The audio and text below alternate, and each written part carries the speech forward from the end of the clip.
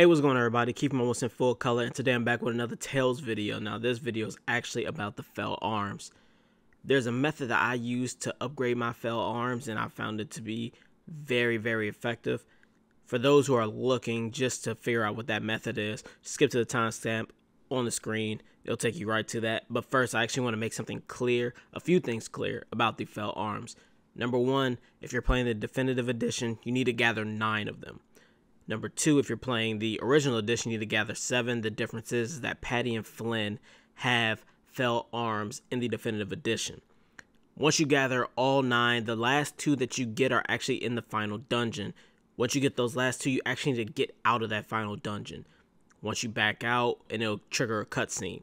Once it triggers that cutscene, you should be able to go right back in. I know the cutscene says something. Don't worry. You just go back in, you defeat the final boss, and when you defeat the final boss, it triggers something else, you'll know it's gonna you'll know when it happens. You'll know if it was proper. Now if it wasn't proper and you back down, you got that cutscene, maybe then go to the place that the cutscene tells you to go to. Another cutscene does happen there, but from what I was told, that cutscene has nothing to do with triggering the final boss cutscene that will happen by having all nine or seven fell arms in your inventory. From there, after you do all that, the final boss, now after you save the game and you have the clear save, all of your fell arms should have a different name to them, and this is how you know that it worked properly. Now, the fell arms are the best weapons in the game because for every enemy that is defeated by that specific character, they get plus one to their physical attack, plus one to their magic attack.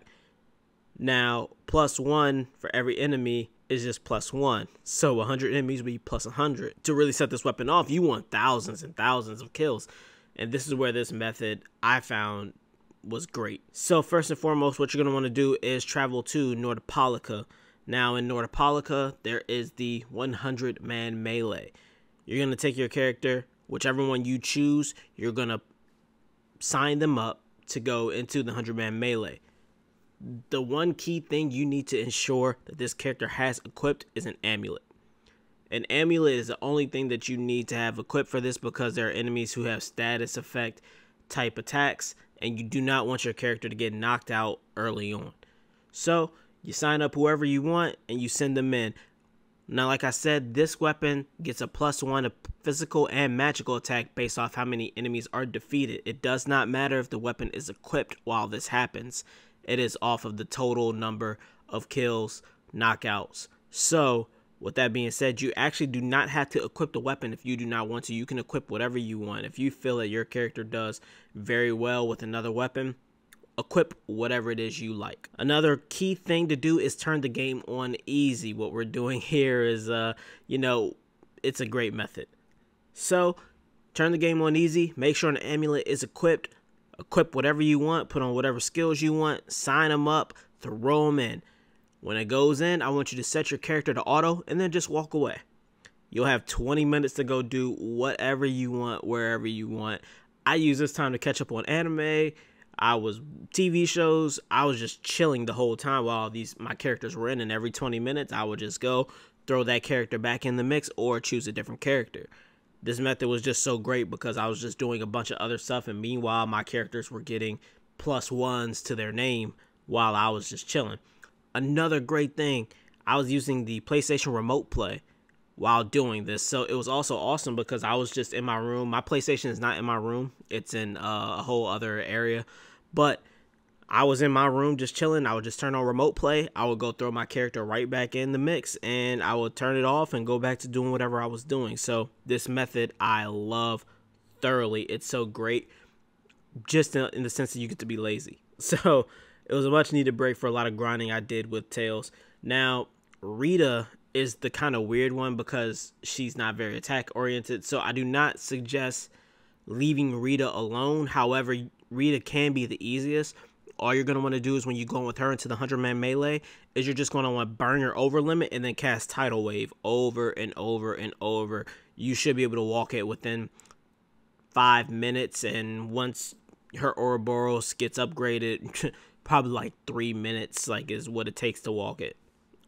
Hers is easy but it just it does require you to be there for her to be most effective.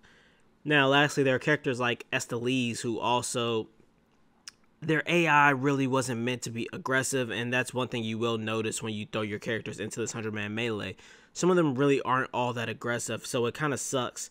So, characters like Estellise, what you may want to do is come right out here. You want to come out to Zaphias, and you want to try to link as many characters as you can to get this fight going.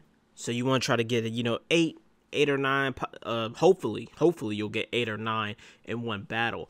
Also, you want to ensure that your other characters are set to defend and do not move, uh, just to ensure that they're not stealing any kills.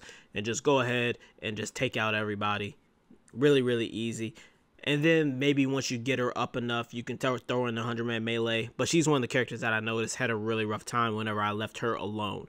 Judith was another one that had a semi rough time. I just thought she would have the easiest time, but it turns out Flynn and Repede, this works amazing for. They were monsters with this. So, like I said, Nordopolica, 100 man melee, auto, and just get out. That's it. It's a very, I love this method, and I hope you all enjoy it as well in terms of buffing those fell arms. And as usual, ladies and gentlemen, I hope you enjoyed this video. Be blessed, be easy, peace.